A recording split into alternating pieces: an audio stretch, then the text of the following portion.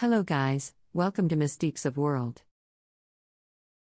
Today we tell you about the history of music. So let's get start the video. The music first arose in the Paleolithic period, though it remains unclear as to whether this was the middle 300,000 to 50,000 BP or upper Paleolithic 50,000 to 12,000 BP. The vast majority of Paleolithic instruments have been found in Europe and date to the Upper Paleolithic.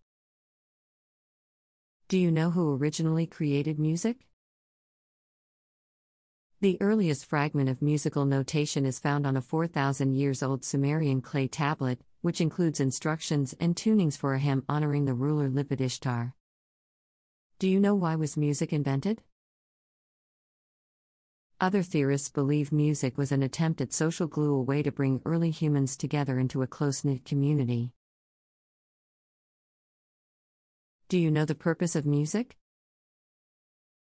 There are four evident purposes for music dance, ritual, entertainment, personal, and communal, and above all, social cohesion, again on both personal and communal levels.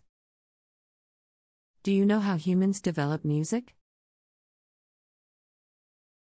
Our early ancestors may have created rhythmic music by clapping their hands.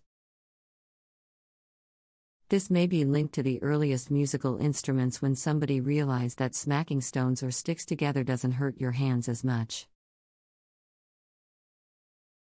Do you know why do humans sing? According to the experts, singing has the power to alter our moods and conjure up memories and feelings. Singing also provides an emotional release, a way to express our thoughts and feelings, says Margaret Shaper, a USC professor of voice. That's all for now. Thanks for watching our videos. Rush to complete the chant by clicking like, subscribe and share button.